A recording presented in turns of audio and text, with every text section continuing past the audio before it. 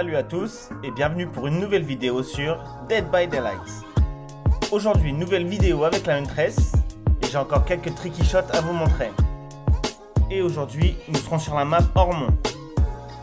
Donc dans cette vidéo, je vais vous montrer plusieurs shots sur des générateurs et il y aura également un petit shot bonus à la fin de la vidéo. Sur cette map, il n'y aura qu'un seul générateur fixe et les autres générateurs vont pop dans des zones. Donc c'est pas dit qu'à chaque partie les générateurs soient à la même place que dans la vidéo. Mais ce qui est sûr c'est qu'ils vont toujours pop dans la même zone. Donc au moins ça te donnera une idée de la distance nécessaire pour réaliser ces shots. Et étant donné que c'est une map ouverte, il y a pas mal de shots possibles. On est parti sans plus attendre pour le premier shot. Donc pour ce shot, il faudra se placer en bordure de map, pas loin du bulldozer. Et là on va faire passer la hachette dans le trou du toit du chalet pour toucher le générateur qui se trouve dans le bâtiment principal. Donc je ne sais pas si tu avais déjà fait attention, mais il y a un trou dans le toit. C'est donc par là qu'on va aller hit le générateur.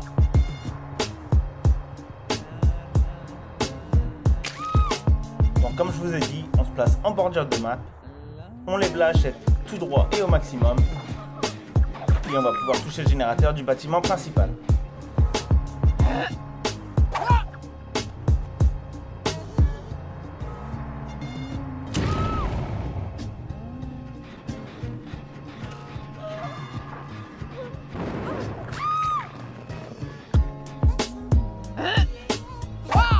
A noter que pour ce shot, vous ne pourrez toucher que deux côtés du générateur. Ce shot est un peu compliqué à réaliser, mais croyez-moi, les survivants ne s'y attendent pas du tout.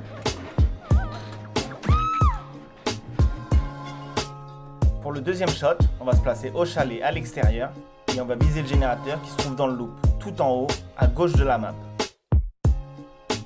Donc là, il faut se placer au niveau du chalet, à cet endroit précis, et viser le générateur tout au fond. Dans ce loop, il y a très souvent un générateur. Donc en te plaçant ici, tu auras la distance nécessaire pour le toucher.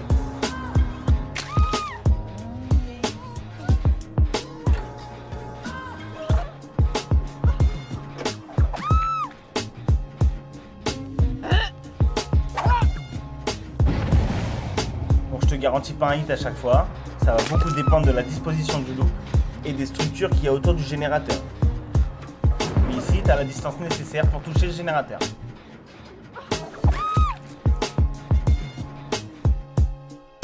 Pour le shot suivant, on va se placer au niveau du bulldozer et on va jeter la hachette au-dessus du chalet afin de toucher le générateur qui se trouve de l'autre côté. Donc là, il faut se placer le long du bulldozer pour avoir la distance nécessaire. Mais ceci dépendra également de la disposition des structures autour de ce générateur. Pour ce shot, j'ai réussi à toucher que deux côtés du générateur. Mais d'ici, vous avez de fortes chances de hit le survivant qui travaille sur le générateur.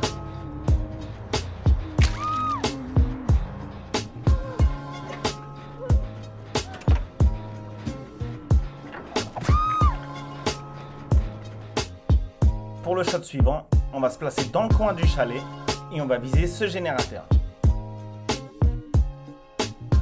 J'ai réussi à toucher les trois côtés du générateur, mais ça va également dépendre de sa position et de ce qui l'entoure.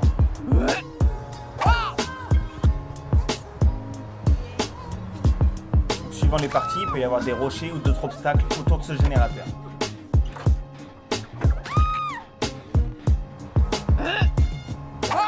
A noter pour ce shot que si le survivant est très attentif, il pourra apercevoir votre silhouette au loin. Donc à cet endroit, vous êtes légèrement visible. Mais la hachette reste néanmoins difficile à voir.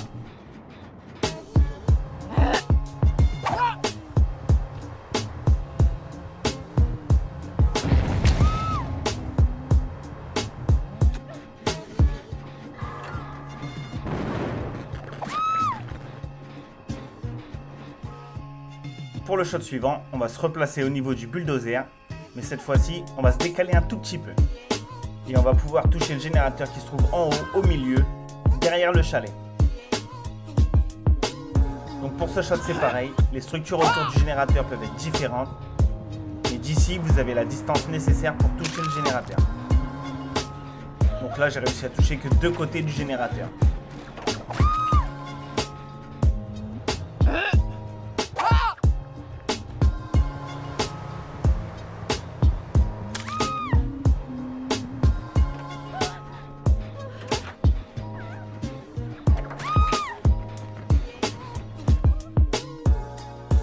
Prochain shot, il faut se placer au niveau du petit chalet et on va viser le générateur qui se trouve en direction du bulldozer.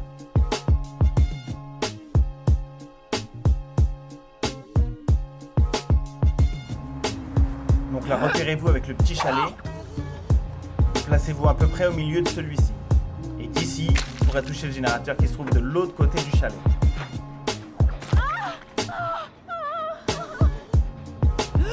Les structures peuvent être différentes également. Mais sur ce gène, j'ai réussi à toucher les trois côtés du générateur.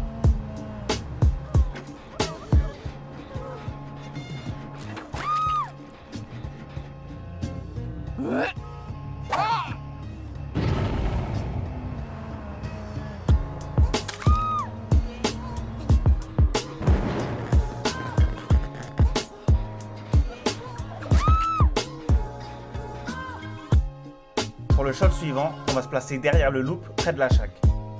Et on va viser le générateur qui se trouve en direction du bulldozer. Donc là c'est pareil, les structures peuvent être différentes. Mais au moins ça te donne une petite idée de la distance et de où tu dois te placer pour toucher le générateur.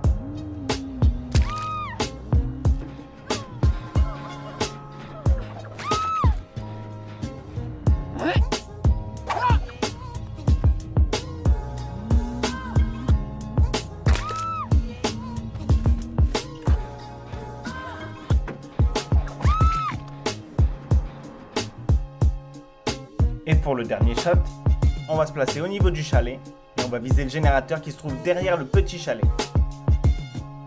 Donc là, vous avez un encadrement de porte au niveau du chalet. Il faut vous placer juste ici et vous aurez la distance pour toucher le générateur qui se trouve derrière le petit chalet.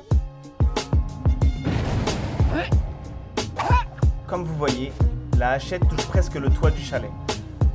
Donc vous l'achetez comme ceci et vous aurez de fortes chances de toucher les survivants qui travaillent sur ce générateur. Autour de ce générateur, en général, il y a pas mal d'arbres, pas mal de rochers, mais c'est tout de même possible de les toucher.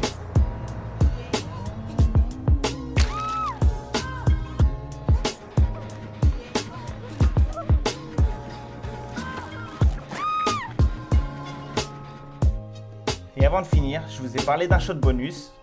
Donc ce shot va se passer au niveau de la chaque. Et il faut savoir qu'il est tout à fait possible de jeter la hachette à travers cette fenêtre honnêtement, je ne l'ai jamais essayé en game. C'est plutôt très compliqué à faire, mais c'est tout à fait réalisable. Donc voilà, on en a fini pour cette vidéo. Comme je vous ai dit, il y a un seul générateur fixe, celui du milieu. Et les autres seront toujours dans la même zone. Pas au même endroit forcément, mais dans la même zone. Donc maintenant, à toi d'essayer ces shots. Et crois-moi, si tu arrives à placer ces shots, tu vas surprendre plus d'un survivant. Donc j'espère que tu as apprécié cette vidéo. Maintenant pour la prochaine, j'hésite entre le site d'atterrissage de Toba ou alors Raccoon City. Ou alors si tu veux voir ce genre de shot sur une map en particulier, tu peux me le dire dans les commentaires. Et il se peut que ça influence mes choix pour la prochaine vidéo. N'hésite pas à t'abonner pour suivre mon contenu. Et on se dit à bientôt pour une prochaine vidéo sur Dead by Daylight.